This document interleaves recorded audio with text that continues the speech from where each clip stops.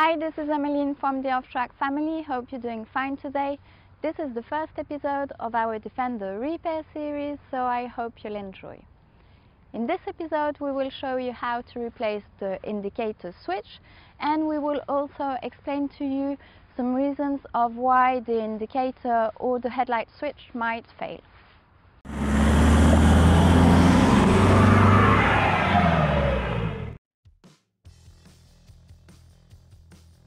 So what's the problem? About a month before our road trip to Sweden, we had a problem with the stock headlights of our Land Rover Defender. Sometimes there were no lights at all, but only side lights, and when we pushed the high beam, those headlights then worked normally. We thought it was the small headlight switch, so we ordered a brand new one to replace it in the future. During the first day of our road trip, we didn't know we brought with us a third passenger called by the famous name Murphy. And luckily, we had this part with us in the car. During a stop on the highway in a German gas station, the headlights totally stopped working. We were quite confident and replaced the small headlight switch with the brand new one, but the problem remained the same. We then tried to look at another problem, but without any success. The night and rain were there and no headlights, only sidelights, so driving on the highway was absolutely impossible. So yes, we did sleep in the car on the gas station's parking. The next morning the fog was there, so again impossible to continue the road trip with no headlights in those conditions. At that time we sent a Facebook post on different Land Rovers groups. After some discussions with very kind members, we found the part responsible of our problem. It was the indicator horn high beam switch, but of course impossible to replace it on a Sunday.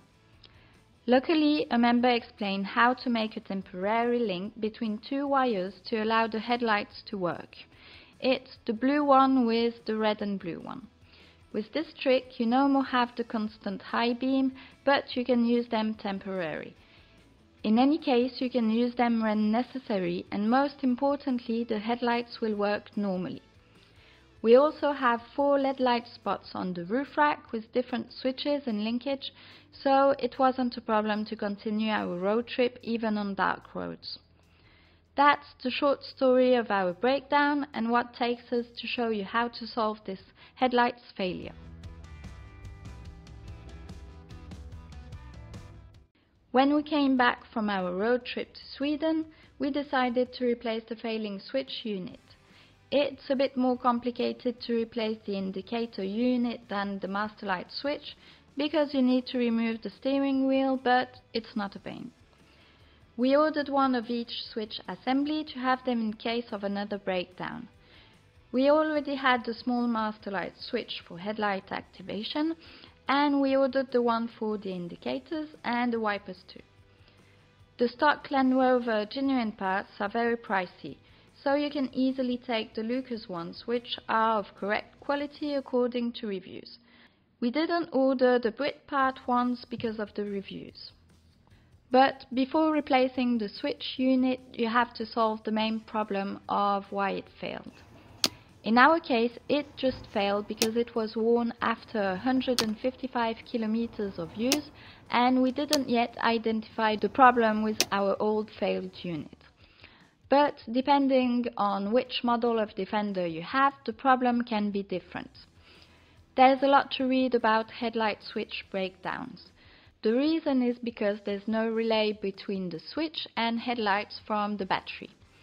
The stock halogen headlights are using a lot of amps to work and this kind of switch is an old type of construction that doesn't resist very well to those high amperage. In some cases the problem can come from two melted metal parts or contact problems because of burnt plastic parts. On our 2.4 TDCI from 2009, there's already a relay for headlamps activation, and that's why we didn't have any problem with any switches before that. To prevent a future breakdown, if you have an older Defender model, you need to limit the amperage directly supported by the switch. For this, there are two possibilities. The first one is to install LED headlights because the amps of LEDs are very low compared to halogen H4 bulbs.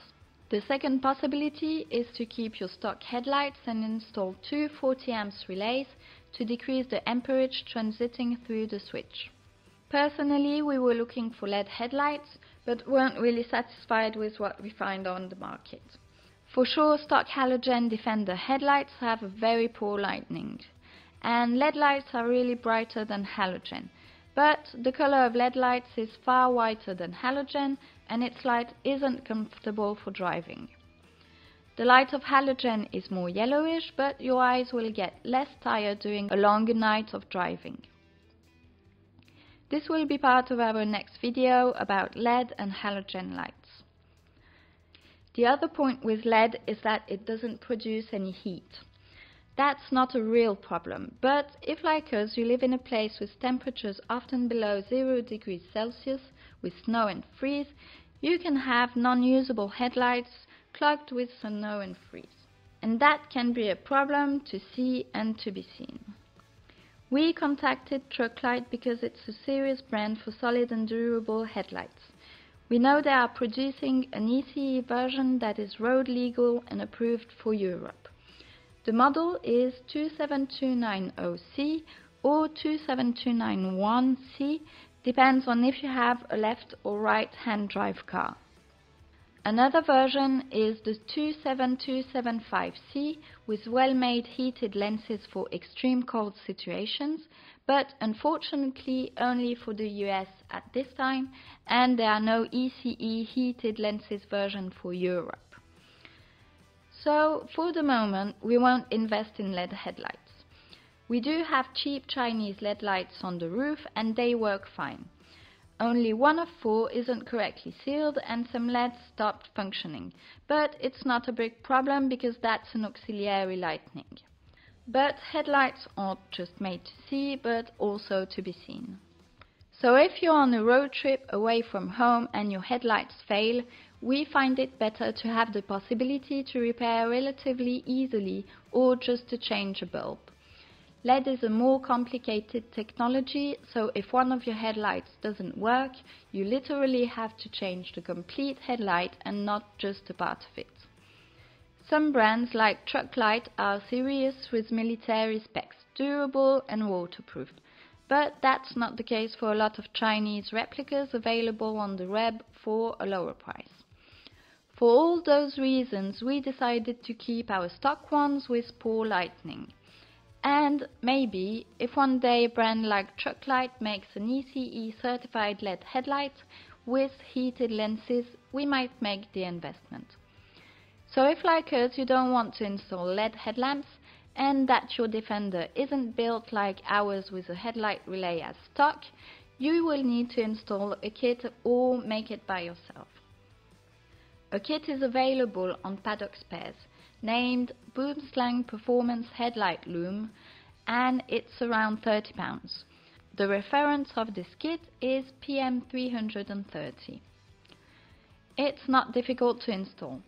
The only thing you might won't like is that this relay will be exposed to the elements and will be submerged in water during wading. This is because it's made to be installed behind the headlight. It shouldn't be a problem because we have for many years now the same kind of setup for our light forces auxiliary lights with a 30 amps relay behind the left headlight and no misfunctioning at all with many wading.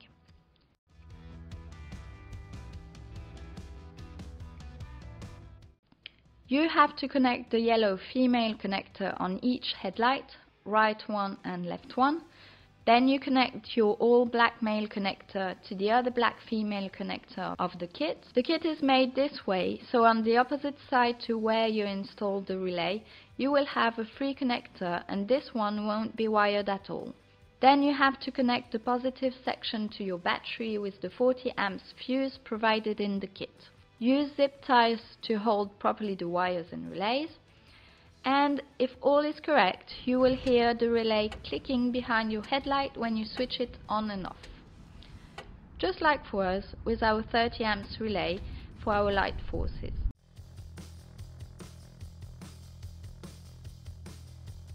Now you can replace your indicator switch assembly. For this you will need a wrench, a 22 socket, a permanent pen, some WD-40 spray and a quarter imperial key. First you have to unscrew the three plastic covers under your steering wheel. After that, make a mark with a pen on your steering wheel to keep the correct position for when you will put it back in place. If you lose the correct position, that will be a problem.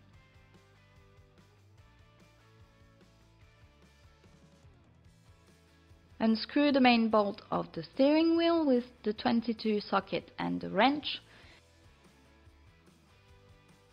You can add some WD-40, your best friend, to make it easier to remove.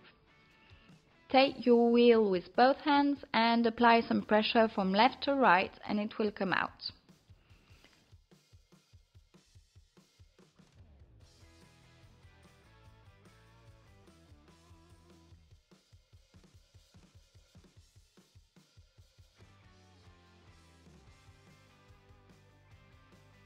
Unplug the three switches.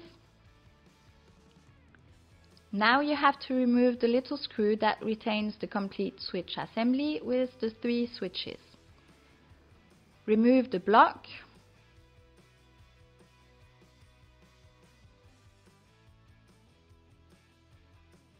After that, you have to remove the small headlight switch by unscrewing the single bolt.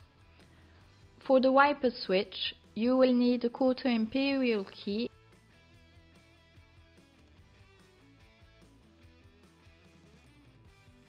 and remove the small circlip, try not to damage the plastic pin. This done, you can remove the wash wipe switch. Unscrew the bolt that holds the master light switch and remove the switch.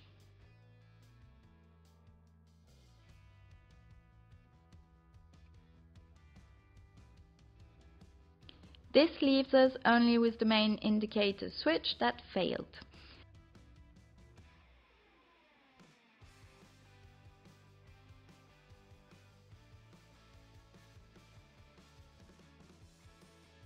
and the old wash wipes and headlight switches that we will reinstall on the new indicator switch. You can now put together the headlight switch and the wiper switch on the new indicator assembly. It's the same operation as before, but the other way around.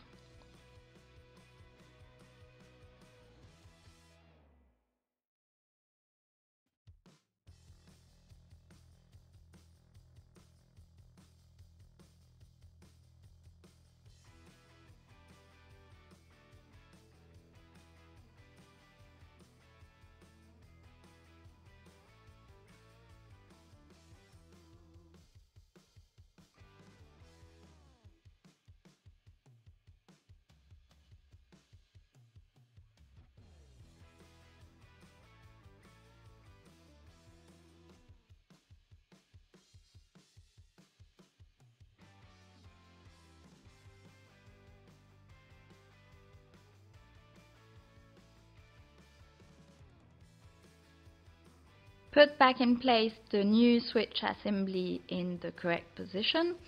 You have to be sure that it's the correct position.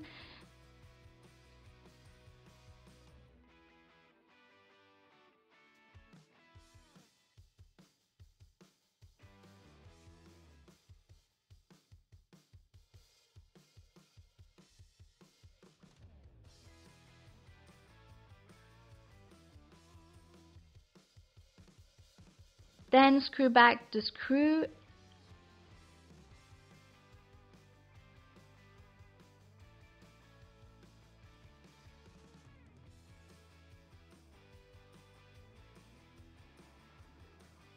plug the three connectors to each other and test that all is running well.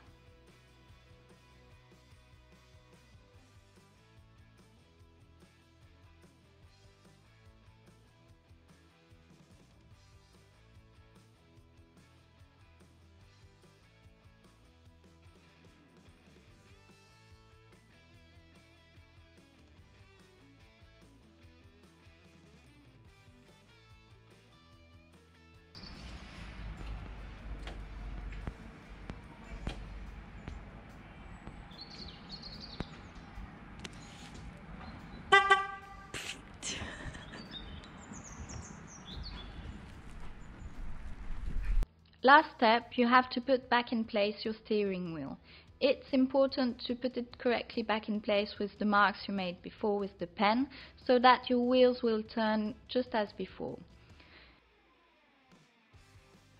You also have to be sure that the blue plastic part of the indicators is in the right position for the steering wheel.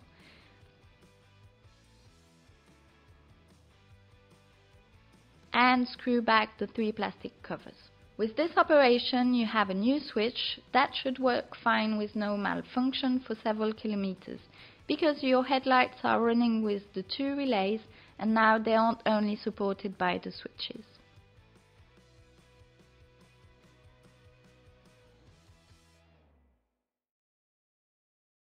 So there, it's finished with this repair episode. I hope it will be helpful for you would be absolutely pleased to read you, so don't hesitate to comment down below and let us know if you have any questions or other tips for us. Please don't forget to put a thumbs up, subscribe to our channel, hit that notification bell and also share our video. Okay, talk to you soon. Bye!